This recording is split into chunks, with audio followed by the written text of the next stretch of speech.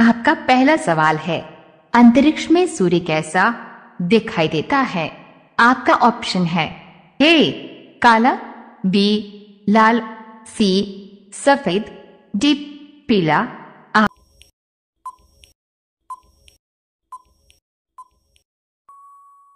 आपका सही जवाब होगा, सी, सफ़ेद। आपका दूसरा सवाल है, साइकिल का आविष्कार किस देश में हुआ था? आपका ऑप्शन है ए, चीन में, बी, भारत में, सी, जापान में, डी, अमेरिका में।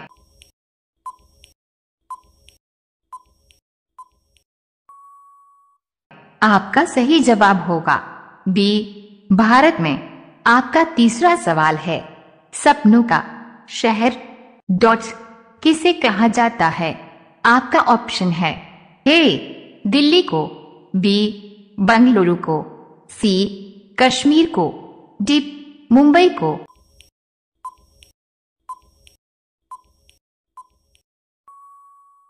आपका सही जवाब होगा। डी, मुंबई को। आपका चौथा सवाल है, कौन सा जानवर नाक से पानी पीता है? आपका ऑप्शन है, ए, हाथी, बी, कंगारू, सी, ऊँट, डी, गाय।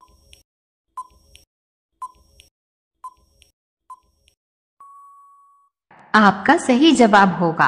हे, हाथी, आपका पांचवा सवाल है। किस देश में आधी रात को सूर्य दिखाई देता है? आपका ऑप्शन है ए श्रीलंका में, बी, कांगो में, सी, भारत में, डी, नॉर्वे देश में।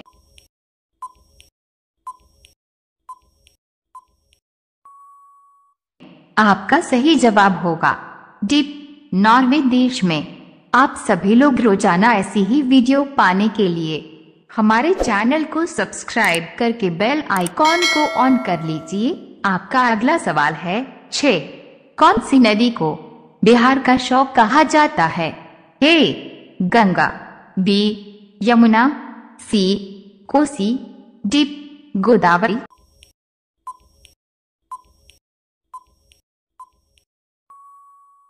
आपका सही जवाब होगा। सी, कोसी, आपका। सातवां सवाल है, भारत के किस राज्य में एक भी ट्रेन नहीं चलती है? आपका ऑप्शन है, ए, मेघालय में, बी, कश्मीर में, सी, उत्तराखंड में, डी, हिमाचल प्रदेश में।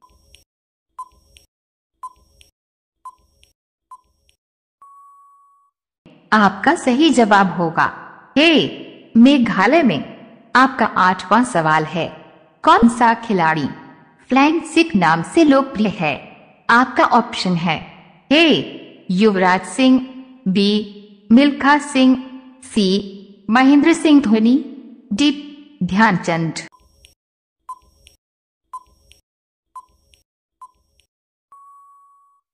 आपका सही जवाब होगा। बी, मिल्खा सिंह आपका अगला सवाल है नौ। भारत का सबसे बड़ा राज्य कौन सा है? आपका ऑप्शन है A, Uttar Pradesh, B, Goa, C, Rajasthan, D, Chhattisgarh.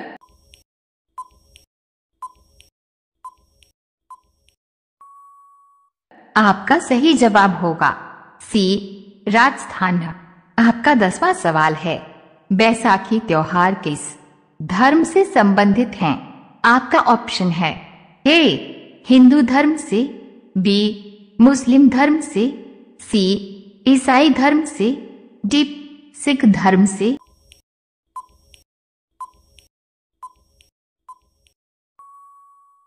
आपका सही जवाब होगा।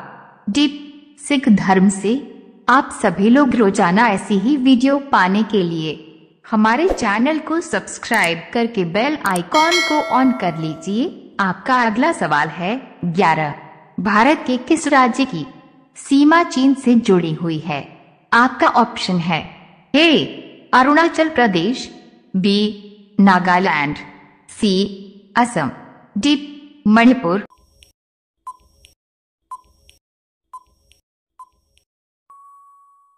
आपका सही जवाब होगा हे अरुणाचल प्रदेश, आपका अगला सवाल है बारह पाँच सितंबर किस रूप में? मनाया जाता है। आपका ऑप्शन है ए, श्रमिक दिवस, बी, शिक्षक दिवस, सी, बाल दिवस, डी, महिला दिवस।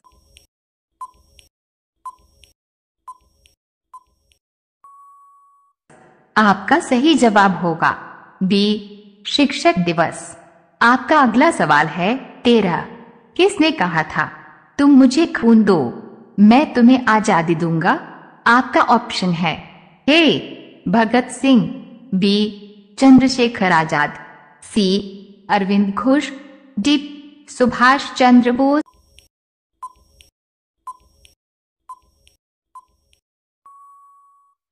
आपका सही जवाब होगा, डी, सुभाष चंद्र बोस। आपका अगला सवाल है चौदह। चौरी चौरा नाम प्रसिद्ध स्थल कहाँ है? आपका ऑप्शन है A, Gorakhpur, B, Agra, C, Allahabad, D, Lucknow.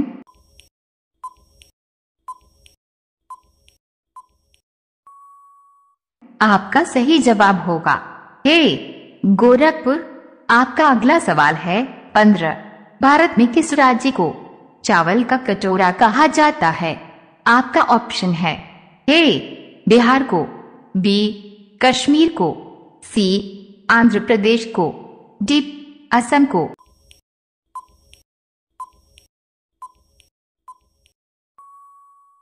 आपका सही जवाब होगा। सी, आंध्र प्रदेश को।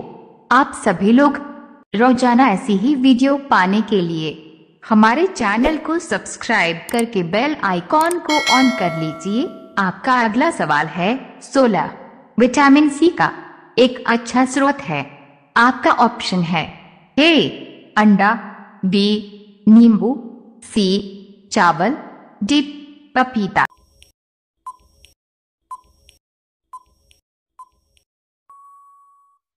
आपका सही जवाब होगा, बी, नींबू। आपका अगला सवाल है सत्रह। ताजमहल किस शासक के द्वारा बनवाया गया? आपका ऑप्शन है A, Babur, B, Jahangir, C, Akbar. D, Shahjahan.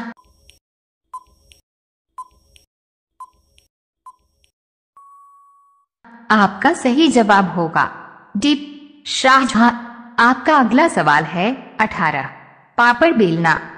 मुहावरे का सही अर्थ क्या है? आपका ऑप्शन है। ए पापड़ बनाना। बी पतली रोटी बनाना।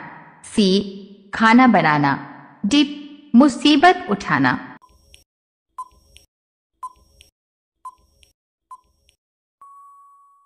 आपका सही जवाब होगा।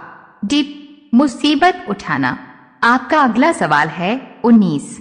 किस सब्ज़ी के अंदर जहर पाया जाता है?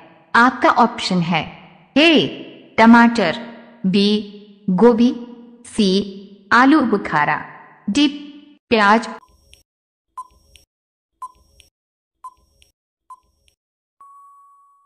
आपका सही जवाब होगा, आलू बुखारा। अब यह सवाल आपके लिए। आप सभी लोग इसका जवाब कमेंट बॉक्स में ज़रूर बताएँ। आपका सवाल है, भारत की राजधानी कहाँ है? आपका ऑप्शन है A, Delhi, B, Mumbai, C, Kanpur, D, इनमें से कोई नहीं। आपका सही जवाब क्या होगा? कमेंट बॉक्स में ज़रूर बताएँ। आप सभी लोग वीडियो को लाइक कर दीजिए। अपने दोस्तों के साथ शेयर कर दीजिए। और चैनल को आप सभी लोग सब्सक्राइब करके बेल आइकॉन ऑन कर लीजिए। धन्यवाद।